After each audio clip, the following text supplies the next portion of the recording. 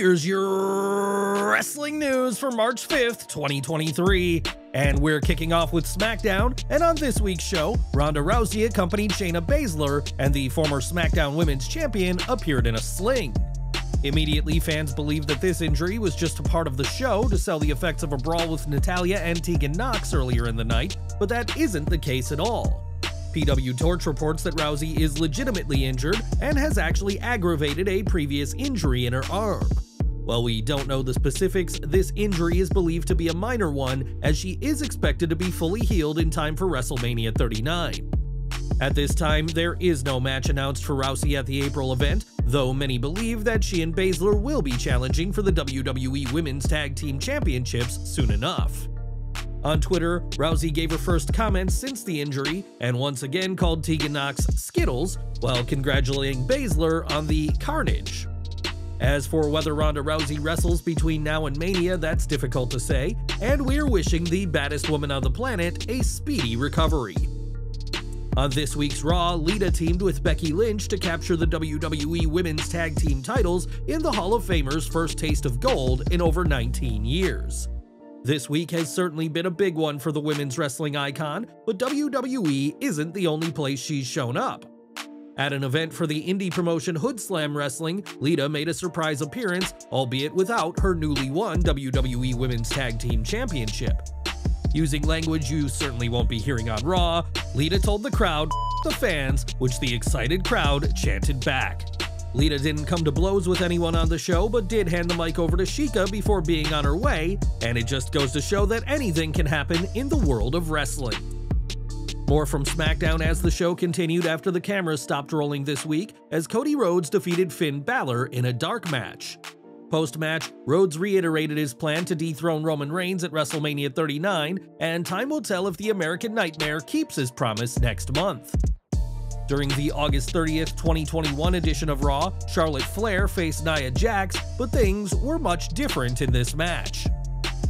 As the two women laid in several legitimate looking blows, many fans thought that the pair had gone off script, and speaking on a recent episode of The Sessions, Jax told Renee Paquette what really went down. We were kind of laying into each other, and I was like, what the heck is going on right now? And I think at the point where everybody saw on TV, I was just like, this dude, you're laying into me. I don't know what's going on. So I just gave her a two piece back that kind of rocked her back into like, let's finish this match and get together. She's one of my best friends, so it wasn't like we were sitting there super mad. There was some sort of miscommunication. We got backstage and I literally was like, what the f? I look at her and I said, Are you good? She said, Yeah, yeah, out there something went off and I didn't feel right. While Jax did make a return at the 2023 Women's Rumble match, we haven't seen the Irresistible Force since then. And it looks unlikely we'll see a hard hitting rematch from this match from 2001.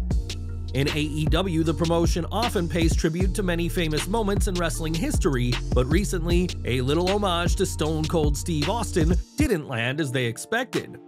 During one match, the camera zoomed in on Wheeler Yuta's bloody face in a clear nod to the iconic shot of Austin screaming in pain at WrestleMania 13, but some legends didn't care for what they saw. When a fan wondered how Austin himself would feel to Yuta being compared to him, Kevin Nash gave a curt response, simply saying, Don't worry, he ain't watching AEW. That response got a response from The Undertaker, as the man who headlined WrestleMania 13 said he had a huge pop when he saw Nash's tweet. Paying tribute to wrestling legends and their iconic moments is a common occurrence in the wrestling industry, but not every tribute will land as intended. And what did you make to Yuta's tribute? And were the comments by Nash and the Phenom appropriate? Let us know in the comments. In 2020, Roman Reigns returned from hiatus as a heel, something fans have been clamoring to see for some time. While WWE never went all in on a John Cena heel turn, Reigns' turn has led to one of the most dominant championship reigns in wrestling history, all the while being assisted by Paul Heyman. Speaking on the SI Media podcast, Reigns' special counsel spoke about what fans have seen these past two and a half years and believes the tribal chief is just an extension of the babyface Big Dog. It's the portrayal of a hero that was pushed too far and that went too far and had accomplished so much that once he reached that level that nobody else could have attained, he felt the burden to stay at that level. The responsibilities and the obligations and the accountability of being at that level and everybody depending on you weighs on him to such a degree that the things he would do to retain the position on a consecutive level Today is day 917 of Reigns' incredible championship tenure, and while many have seen the Tribal Chief as a complete U-turn of the babyface fans rejected just a few years ago, Heyman clearly sees things differently. Over to AEW as tonight's Revolution event won't see the face of the Revolution ladder match, which instead took place on Dynamite. Given the significance of the match, many have wondered why the match was moved, and it turns out that the main event of the show required the match to be moved. When Sportskeeda's Max Everett asked about the decision to move the match on the pre-Revolution media call, it was said that the hour-long main event led to a shorter than usual card. I asked Tony Khan on today's AEW Revolution media call about booking a 60-minute Iron Man main event, its effect on the rest of the card, and last night's Dynamite. He confirmed that it necessitated the preponement of the Face of the Revolution ladder match. Less matches on Revolution's card that we have come to expect, but iterated that he was excited for the main event and feels it's been handled well.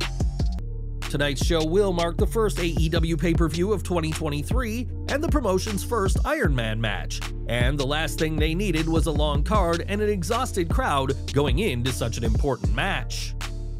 In early 2021, Taya Valkyrie signed with WWE and used the name Frankie Monet in NXT, only to be released as part of the dreaded budget cuts that November. Since then, Valkyrie has returned to Impact Wrestling, where she is one third of the reigning Knockouts Tag Team Champions with Rosemary and Jessica, but could she soon be back in WWE?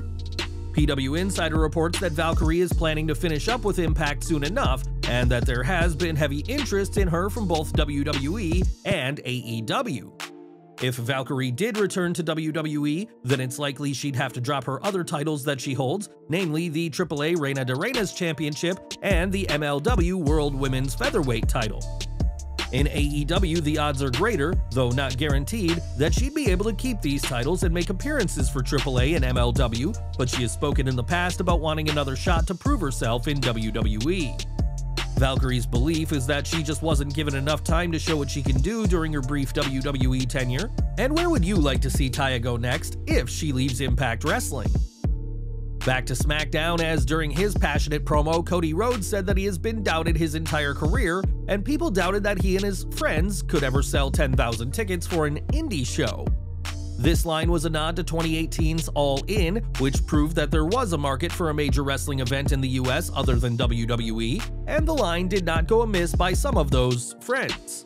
On Twitter, the Young Bucks reacted to Cody's comment by changing their bio, which now just reads All In. Many consider All In to be a proof of concept for AEW, which would be announced just a few months later, and it's good to see that Cody hasn't forgotten all those that helped him on his journey back to WWE. Since 2015, Dana Brooke has shown off her wrestling skills across various brands, but the former 24 7 champion may soon be stepping into the ring of a different kind. Speaking with Sean Ross Sapp of Fightful recently, Brooke said that boxing is on her bucket list and has considered taking a boxing fight on soon. Brooke has also been training in jiu-jitsu and has been helped by her fiance, MMA fighter Uli Diaz, so she's certainly got a wealth of expertise for her training. Whether she is able to compete in a boxing match, that's something WWE's higher-ups would have to decide, but with Triple H's new era being so different to his father-in-law, don't count anything out. In recent months, Ricky Starks has really come into his own on AEW programming, and there's a reason why he was the first person chosen to challenge MJF for the AEW World Championship. With his feud with MJF in the past, Starks has moved on to feuding with Chris Jericho, and despite being his enemy, Y2J has had some high praise for the young star. On Busted Open Radio, Jericho said he's seen glimpses of The Rock in Starks' work as a wrestler and on the mic, and said a promo from Starks in San Antonio, quote, blew my mind. Jericho went on to say that Starks is honing in on how to hold a crowd in the palm of your hand, sometimes without saying a word, a feat that the Great One excelled at in WWE. While Starks is a long way from matching the success of The Rock, the fact that Jericho, among others, are comparing the two is a big deal, and the future looks bright for Ricky Starks. And we're ending with Jeff Jarrett, and after being released from WWE last year, it wasn't long before Double J was in AEW.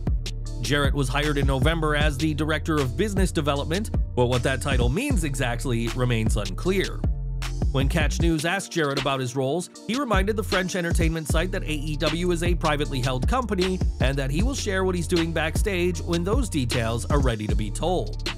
It has been reported that Jarrett is one of the individuals working on AEW's upcoming plans for house shows, with the first AEW House Rules event scheduled for later this month. But as for what else he's doing, Double J is keeping hush hush.